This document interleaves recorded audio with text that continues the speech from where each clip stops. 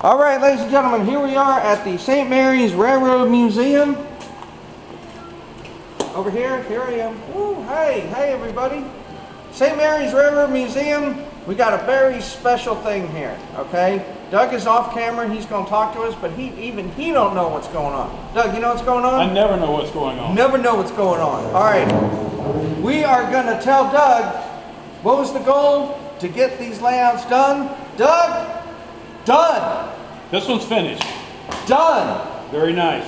All right. Very nicely done. Now we got this is a example of what you can do in your garden as a garden railroad. So the idea is to set this up outside and run it outside.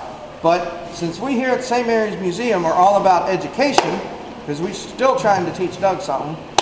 Ah! Okay. Um, we would like to show you how you can do this on your own outdoor landscape. And that's the latest and greatest in G-gauge railroading. And um, uh, we also got a little bit of O-gauge in the center just to give it that final touch.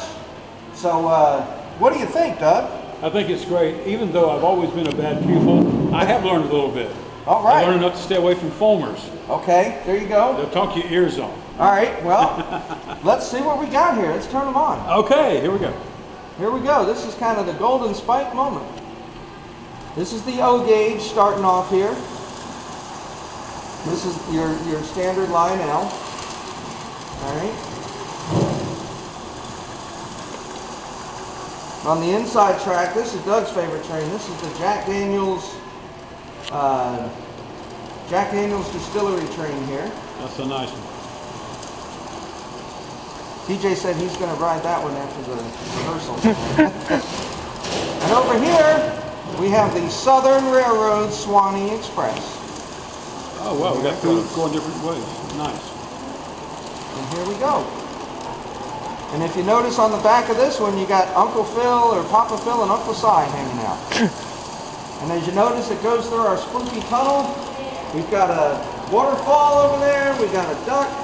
There's some other little things for the kids up on the uh, the tunnel there. We got Batman. We're gonna do a little thing when the kids come down. You know, uh, see if you can pick out how much stuff there is. There's a tiny little snake. There's Willie Robertson sitting over in there. This is a spooky swamp, and there's some spooky stuff over there. Then we have uh, the strobe light going on in the tunnel, all that. So, Doug, did we exceed your vision on this? I didn't have a vision. Okay, well, okay. Well, what do you think, Doug? The boss man. I think that uh, it looks fantastic. I think kids will love it, and I think uh, adult foamers will love it just as much. Okay, so if this one's done and looks that good, just imagine how these other two are gonna look. That, re- that remains to be seen. That's it. We're getting there. Good job. Four people can only do so much. So if you want to volunteer, please come help.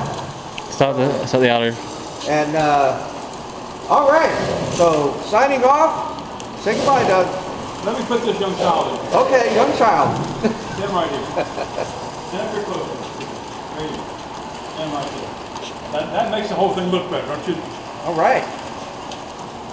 Doug, we need to send something to Patty Crosby, like, Good morning, Jacksonville, from the St. Mary's Railroad Museum with our first operational layout. Okay. We'll get your camera, we'll do that whenever. Thank you. What do you think?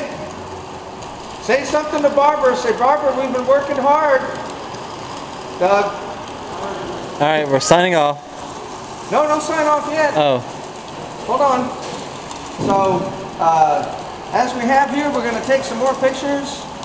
Woohoo, I'm over here. Hey, how you doing, everybody? All right, we're gonna take some more pictures, but most and foremost, guess what? We're gonna see you on the rails.